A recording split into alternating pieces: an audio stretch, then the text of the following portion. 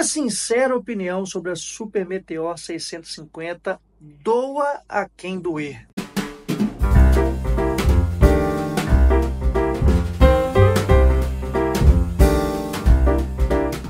É, americano, é isso mesmo. Hoje é vídeo de canto de mesa, segurando a câmera na mão, porque eu quero bater um papo com você próximo aqui nesse vídeo, onde eu quero dar a minha sincera opinião sobre a chegada, comercialização e lançamento da famigerada Royal Enfield Super Meteor 650 aqui no Brasil.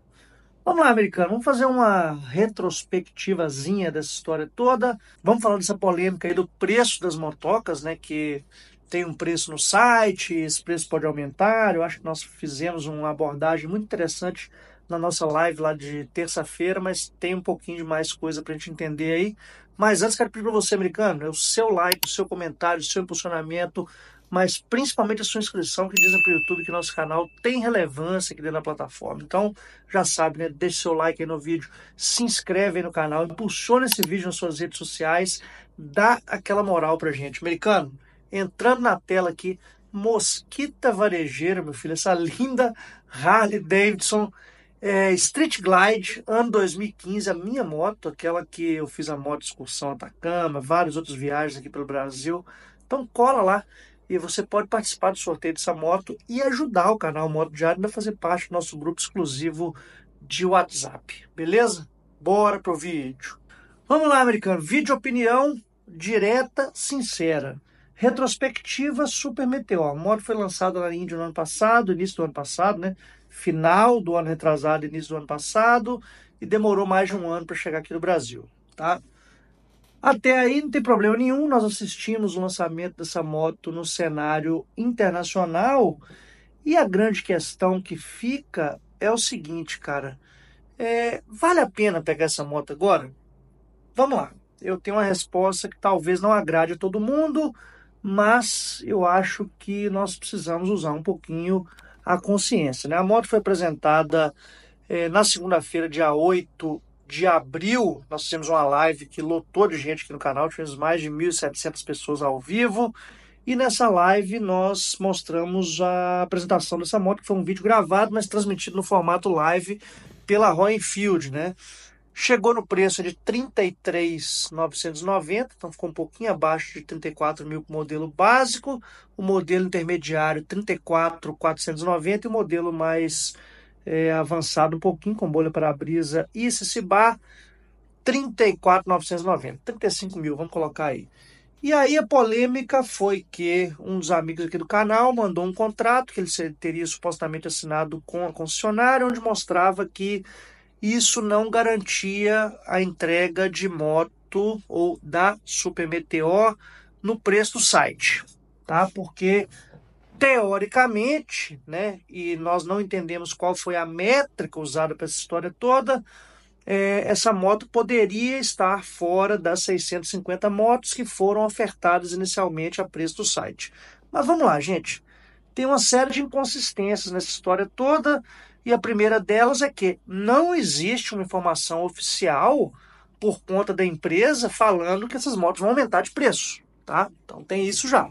O que existe na realidade é uma especulação por nós mesmos, né, da rede social, inclusive por todos, né, de que, como já aconteceu em outras marcas, pode ser que no próximo lote tenha um reajuste de preços, tá?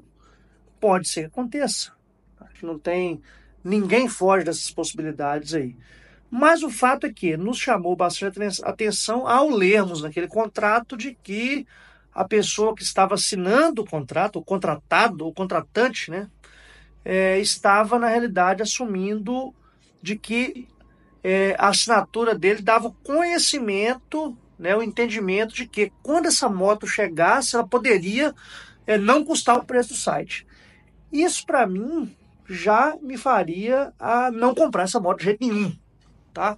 Não que eu não goste da moto, acho que a moto inaugura uma nova fase aqui no Brasil, principalmente do motociclismo custom, né, com uma moto que tem cara de moto custom, que tem pegada de moto custom, que vem para, de certa forma, interromper uma fase de muitos anos aqui no Brasil sem motos custom, mas, sinceramente, não é a última bolacha do pacote, né, gente? Vamos lá. E o preço também não é o preço caro, não. Esse preço está muito dentro da realidade. Se nós compararmos o preço dessa moto com motos de outras marcas, como por exemplo, não tem nada a ver com moto custo, mas a Saara 300 da Honda é vendida a 35 mil reais. Né? Então, quer dizer, é, não tem esse preço escandaloso. Né? Muito possivelmente a Kawasaki é, Eliminator 450 não vai baixar de 40 mil reais. Tá? Provavelmente também não é informação oficial. Tá? Pode ser que tenha uma ação aí por conta da Kawasaki e coloque um preço aí é, competitivo no mercado, né? Mas a expectativa dessa moto é 40 conto, não tem conversa. 40 Eliminator e acima de 50 a Vulcan 650S. Então o preço da Super Meteor não é um preço absurdo, mesmo se ele subir um pouco, tá? É muito improvável e aí eu nem vou fazer regra de três hoje, porque é um vídeo de opinião, é muito improvável que esse aumento seja absurdo né? Que geralmente o padrão que nós temos observado na Royal Enfield com outras motos, tá? Já aconteceu, tá? Sobe 500 reais em cada modelo, sobe 700 reais, sobe, quando muito, sobe mil reais, tá? Então, de novo, também não estamos falando de um aumento de preço absurdo, tá? Aí, tendo dito essa parte toda que já ficou longa, por que, que não tem que ter desespero para pegar essa moto? Gente, pelo amor de Deus, é uma moto que está chegando no mercado e uma moto que é bastante esperada. Então, a possibilidade que essa moto tem de ficar por um longo tempo, né? de ser uma porta de entrada para outros modelos, né? e de ter uma longevidade, que é longevidade, uma vida longa dentro da operação da marca aqui no Brasil, é gigante. Então, você vai ter muita oportunidade para ter essa moto na sua garagem, tá? Ao mesmo tempo, a chegada dessa moto, ela acaba que é, é um serve de estímulo para outras marcas que têm motos custom, pelo menos para começar a observar esse mercado. Honda, com a sua toda a sua linha Rebel, né, que faria muito sucesso por aqui. Marcas chinesas que estão chegando por intermédio de outras marcas chinesas, vamos colocar as motos da Shinerai, que nós já temos três motos confirmadas, né? As três da chinesa Lifan, a K19, que aqui receberá o nome de Iron, a V16, que aqui receberá o nome de Denver, e a V16S, que aqui receberá o nome de Titanium. Sem contar que a Shinerai está aventando a possibilidade, com unhas e dentes, isso é conversa minha direto com eles, de trazer motos da famigerada QJ Motors também, né? da Qianjiang, que são motos extremamente, extremamente é, embarcadas de tecnologia que estão conquistando principalmente o mercado europeu. Então, quer dizer, nesse momento onde nós temos uma grande gama de oportunidades e aparentemente um resgate no mercado custo nacional, será que é o momento para desespero? Ah, não consegui fazer pré-reserva, pagar mais caro. Daí, Mês que vem faz, do outro, depois do meio do ano, compra moto usada depois, compra as motos novas que vão chegar aí, testa, avalia, faz um test ride, se dê oportunidade. Acho que não é o momento de dar esse holofote todo para Roy Field. Não é. Como eu disse, é uma moto legal, é uma moto na casa das 650 cilindradas que nós estamos órfãos há muito tempo aqui no Brasil, mas está longe de ser a última bolacha do pacote.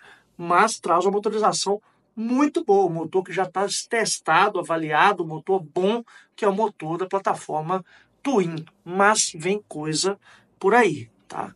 Vem coisa da Bajaj, vem coisa das marcas indianas que estão aterrizando por aqui, TVS, Hero, né, a própria QJ por intermédio da Shinerai. Então é hora de analisar a situação e colher os louros da fama lá na frente. Conta para mim o que você acha dessa história toda, papai. Deixa aí a sua opinião, que é muito importante para dar aquela moral para gente e ajudar a gente a se manter ativos aqui no YouTube e impulsionar esse conteúdo. Um abraço para você.